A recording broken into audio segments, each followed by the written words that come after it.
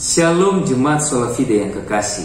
Jumpa lagi dalam We Are Solafide Edisi pelajaran sekolah sahabat dewasa. Hari ini hari Senin dengan judul Tubuh sebagai bait suci. Mari kita baca 1 Korintus 6 ayat 19 dan 20 Atau tidak tahukah kamu bahwa tubuhmu adalah bait roh kudus Yang diam di dalam kamu? Roh kudus yang kamu peroleh dari Allah Dan bahwa kamu bukan milik kamu sendiri sebab kamu telah dibeli dan harganya telah lunas dibayar. Karena itu, muliakanlah Allah dengan tubuhmu.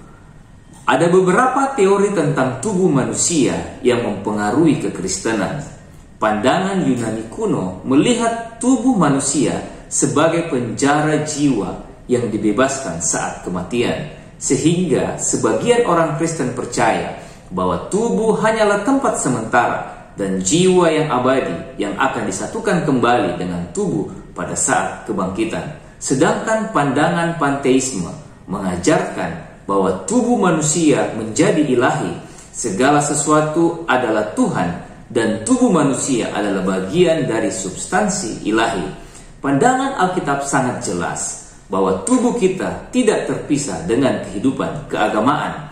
Tubuh adalah bait Roh Kudus Adam dan Hawa diciptakan menurut gambar dan rupa Allah yang tercermin baik dalam karakter maupun fisik.